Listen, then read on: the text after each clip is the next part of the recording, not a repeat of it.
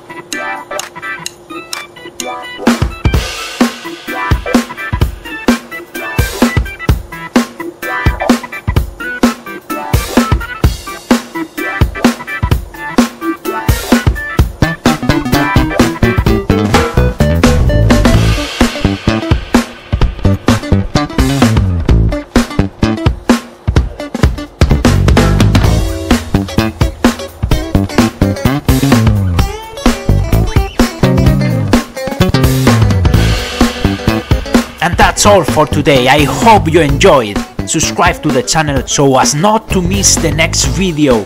Thank you, bye!